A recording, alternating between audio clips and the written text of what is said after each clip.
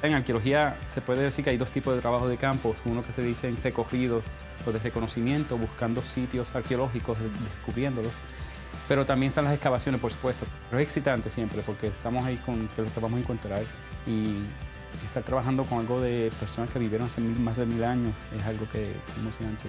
Otro beneficio de estar en el Smithsonian es tener acceso a recursos de distintos tipos para, para investigaciones, empezando con las colecciones que tenemos aquí. ¿no?